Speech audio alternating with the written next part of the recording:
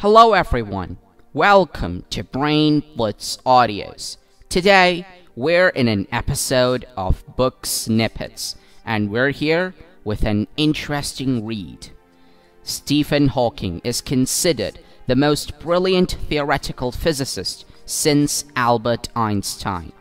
He has captured the minds of millions of people worldwide with his work on cosmology, his fight against all odds after contracting amyotrophic lateral sclerosis, which paralyzed him, and also for his literary work. The best example of his literary work is A Brief History of Time, published in 1988. Hawking wrote this book on theoretical cosmology for readers who had no prior knowledge of physics. He had managed to produce an accessible and enjoyable book, understood by laymen as well as scientists. Let's look at an overview of that book. In A Brief History of Time, Hawking himself acknowledges that when he approached Simon Mitton, the editor in charge of astronomy books at Cambridge University Press, he was warned that for every equation added to the book, readership levels of the book would decrease by half. After much tussle with the draft, Hawking consented to remove all equations except E equals mc squared. It must be noted that he included complex models, diagrams, and illustrations to detail some of his concepts. A Brief History of Time deals with various cosmological advances across the ages in 12 chapters. The first chapter talks about the picture of the universe throughout the ages. Hawking initially mentions the work of early Greek philosophers such as Aristotle and Ptolemy, who proposed a geocentric universe. Renaissance astronomers such as Copernicus, Galileo, and Kepler disproved this by their work on orbits and gravitation, which then led to Newton's law of gravitation. Other works by Einstein and Hubble are mentioned before talking about a grand theory of everything. The next chapter analyzes space and time. Newton has dissolved the idea of absolute space put forth by Aristotle with his work on mechanics. However, he viewed time as absolute. Hawking then details James Maxwell's theories on light propagating as waves.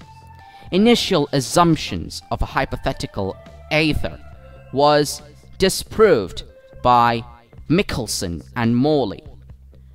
Albert Einstein also disposed of the ether by dismantling absolute time in his special theory of relativity.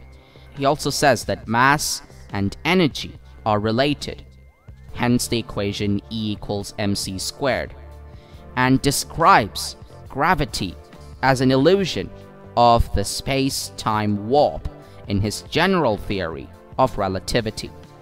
Hawking, together with Roger Penrose, found that using this theory, the universe can be considered as finite. The third chapter, The Expanding Universe, talks about Edwin Hubble's 1929 discovery of the receding of stars. His work was proved by measurements of redshifted and blue-shifted galaxies. Then, Hawking discusses various theories on the origin of the universe, including the Big Bang Theory, which was deemed correct by Hawking's earlier work on general relativity with Roger Penrose. However, Hawking now says that quantum effects show a different origin of the universe. In the subsequent chapter, he focuses on Heisenberg's uncertainty principle, which laid the groundwork for quantum physics. Elementary particles like quarks and bosons are discussed in Chapter 5. In here, Hawking discusses classification, behavior, and properties of quarks, fermions, bosons, and other subatomic particles. In Black Holes, that is Chapter 6, Hawking recollects his lost bet to Kip S. Thorne on the existence of black holes before describing them as portions of space-time with extremely strong gravity, formed after the destruction of large stars. S. Chandrasekhar's work on stars is referenced here, along with detection of black holes via X-rays. In the next chapter, Hawking disproves older theories saying that black holes only gain mass. His work on Hawking radiation states that black holes lose energy when particles absorb them as per the second law of thermodynamics. As we read chapter 8, we find Hawking analyzing the Big Bang theory in detail. He also describes other possible scenarios for the same theory with often disastrous results, like lesser expansion and a higher rate of expansion.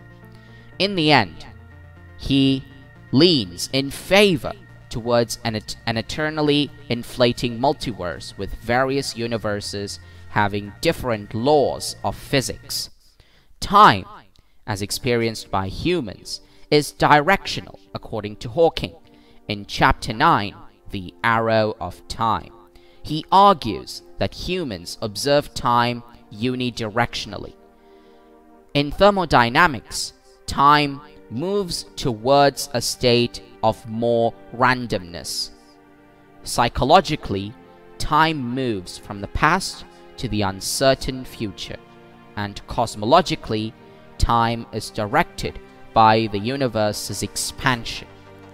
This discussion leads to the futility of time travel and the existence of wormholes in Chapter 10, where Hawking dissects the reasons why such bridges in space-time do not facilitate faster than light travel as well as time travel. In Chapter 11, Hawking says that quantum physics and the general theory of relativity are both proved and disproved.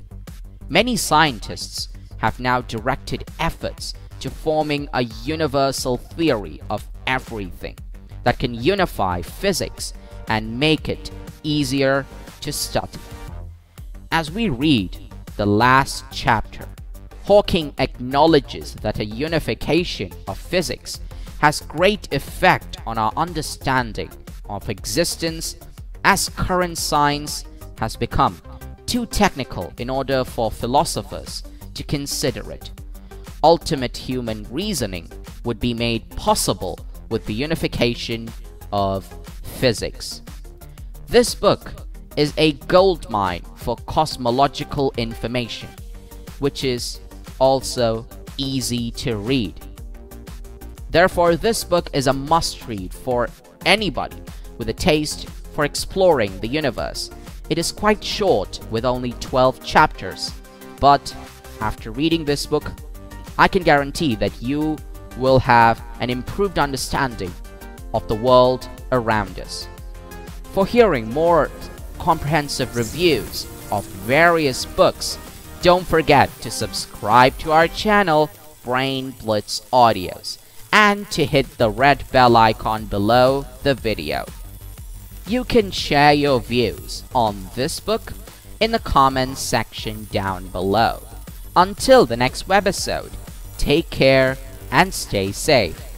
Bye bye!